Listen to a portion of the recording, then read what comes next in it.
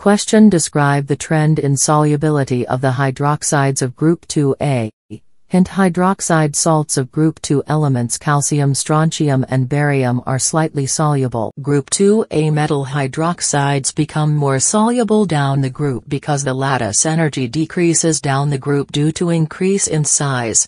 Increase in the coordination number of the metal ion as you go down the column.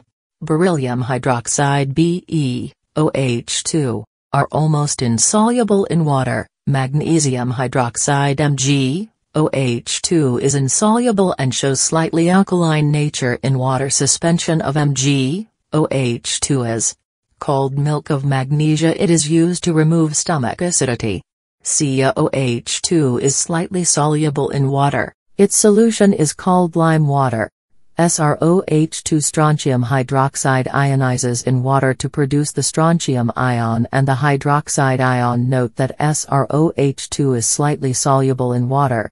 BaOH2 is soluble enough to be able to produce a solution with a concentration of around 0.1 mole per cubic decimeter at room temperature. Keep watching. Thank you. Please like and subscribe my YouTube channel.